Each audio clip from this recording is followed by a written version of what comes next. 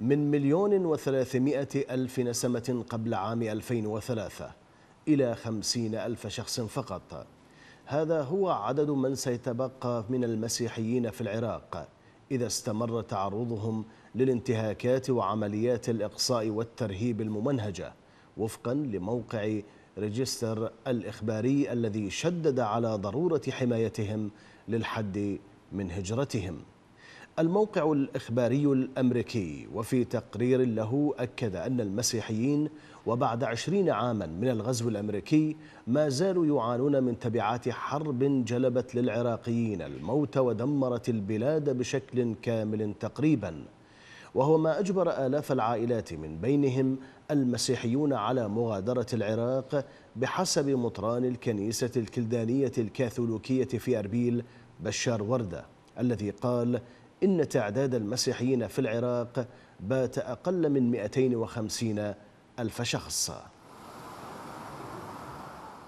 ونوه تقرير موقع ريجستر إلى أن الوضع الاقتصادي والسياسي والاجتماعي المتردي في العراق فتح الباب أمام إقصاء الأقليات وتهميشهم حتى أن شبابا من المكون المسيحي باتت تتملكهم مشاعر الخوف والقلق نتيجة الفوضى الأمنية وغياب فرص التوظيف. وهو ما زاد من الرغبة بالهجرة إلى خارج العراق مع ارتفاع معدلات البطالة التي فاقت نسبتها في بعض المناطق السبعين بالمئة كما هو الحال في مدينة قرقوش في محافظة نينوى.